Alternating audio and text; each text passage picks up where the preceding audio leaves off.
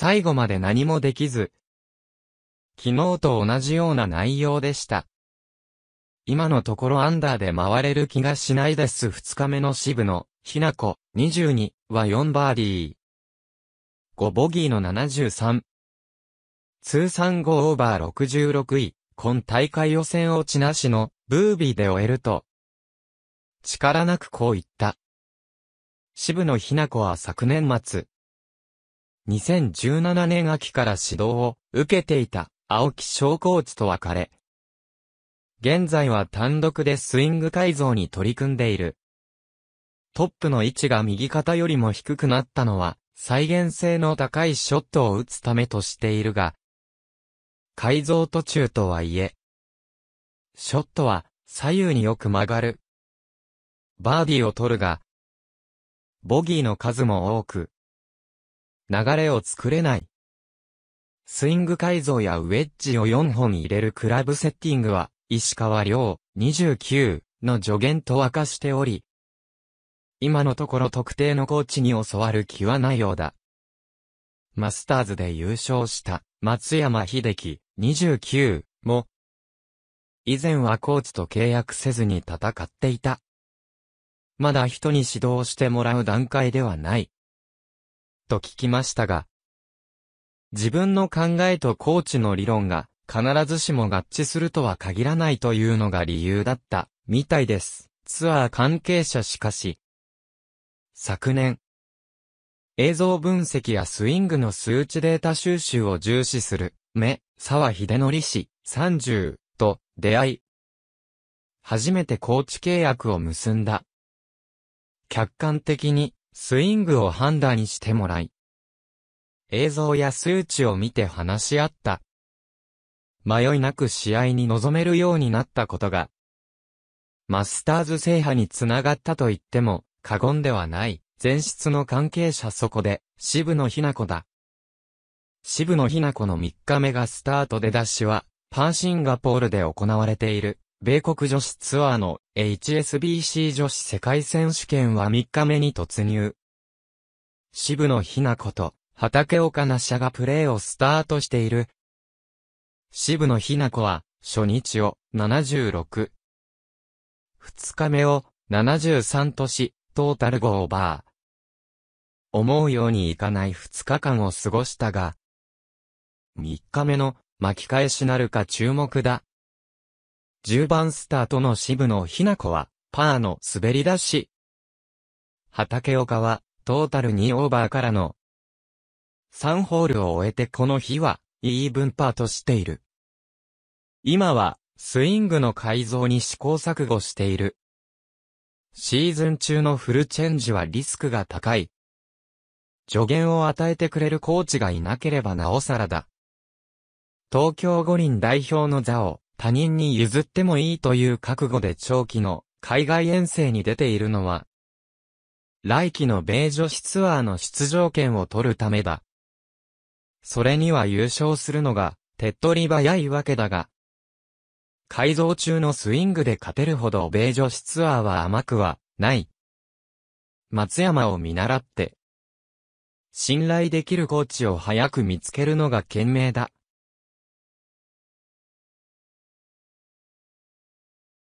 次のオーディオビデオでお会いしましょう。HSBC 女子世界選手権事前情報27日、戦闘差 GC 誕生 C。シンガポール6718ヤードパー72、米国女子ツアーの HSBC 女子世界選手権が29日から4日間の日程で開催される。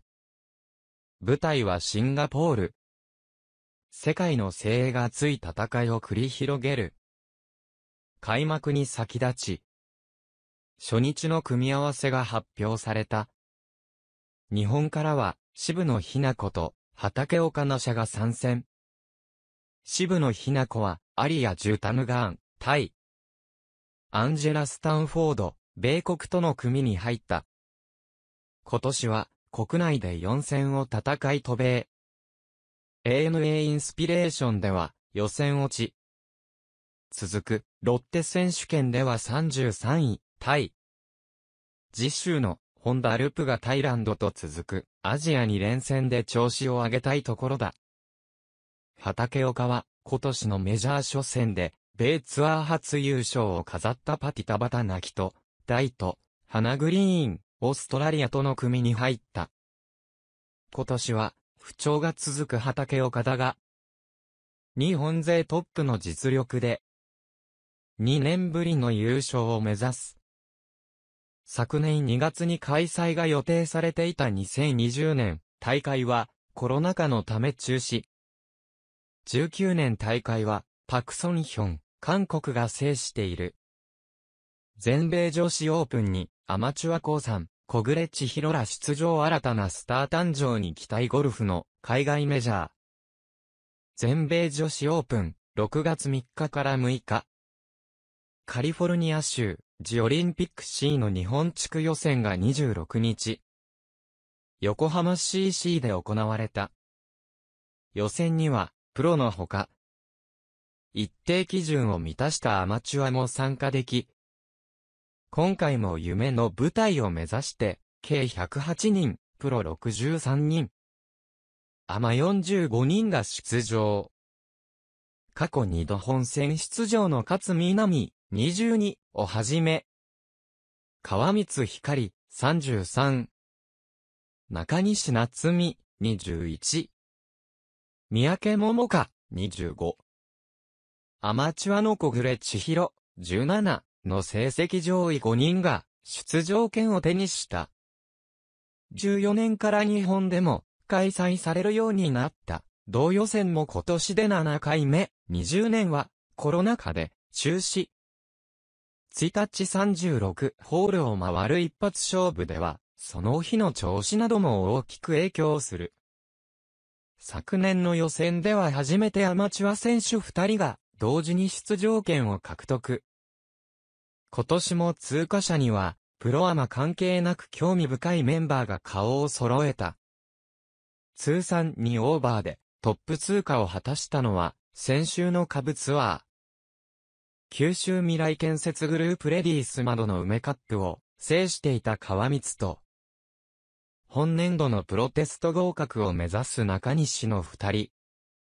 偶然にも二人は共に沖縄県出身。川光は、夫の貞金宗介氏をキャディーとして、勝ち抜き。私の調子が悪い時でも、大丈夫。大丈夫と声をかけてくれて。なんとか乗り切れましたと、笑顔で振り返った。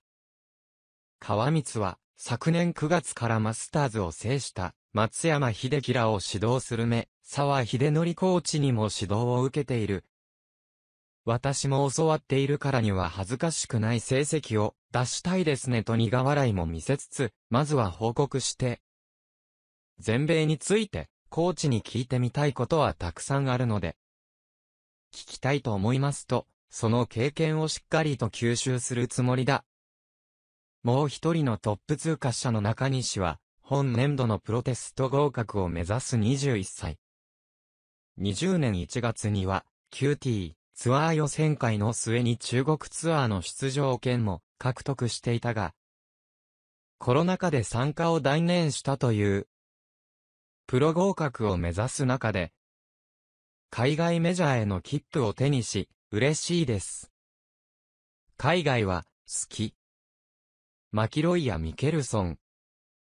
タイガー・ウッズとかに憧れていますと目を輝かせた。同世代には、国内ツアーで8戦4勝と強さを見せている、稲見萌寧がいる。いつも、萌寧ちゃん頑張れと思って見ていると、同世代の活躍にも刺激を受けており、自分もプロテストに通って、ツアーで活躍できるようになりたいですと、意気込んだ。2打差の3位で通過した三宅は、予選初参加で出場権を手にした。練習ラウンドなども共に行った同期の新竹類に誘われて出場したというが、堂々のプレーで大舞台への切符を獲得。信じられなくてびっくり。めちゃくちゃワクワクしていますと喜びをかみしめた。残り2枠は熾烈な争いとなり、4位に勝ちと小暮。月山律子の3選手が並んで、プレーオフへ。17、18番の繰り返しで行われ、2ホール目で共に、パーとした勝ちと小暮が、最後の切符を手にした。すでに本大会に2度出場している勝ちは、落ちたと思っていたので嬉しいですと安堵の表情を見せ、本戦では予選を通過して、上位で戦って、いろんなトップ選手のプレーを見て勉強したいと話した。小暮は、茨城の秋秀日立に通うアマチュアの高校3年生。1日の予選で出場権が得られるのは、チャンスと意気込んで臨み、見事に通過を果たした。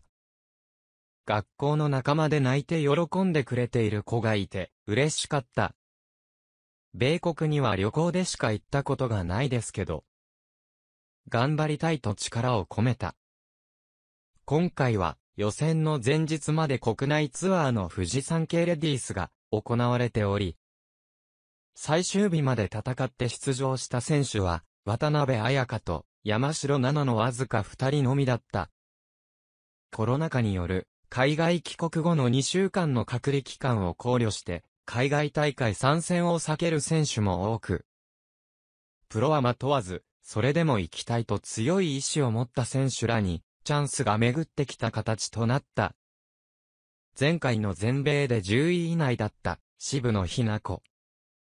米ツアーを主戦場として、ポイントランキングで出場圏内の畑岡奈社、オーガスタナショナル女子山を制した。梶谷翼もすでに出場権を得ており、今後は5月17日時点での世界ランキング75位以内の選手も出場権を獲得する流れとなっている。今回の全米女子オープンは、世界ランキングをもとに決定する6月下旬の東京オリンピック。五輪代表期間の直前でもあり、ポイント配分の高い同大会での成績が、五輪代表の行方にも大きく影響する可能性もある。19年の渋野日向子の全英女子オープン優勝。そして今年の松山のマスターズ制覇で盛り上がる日本ゴルフ界。新たなスター誕生にも期待しながら本大会も注目していきたい。次のオーディオビデオでお会いしましょう。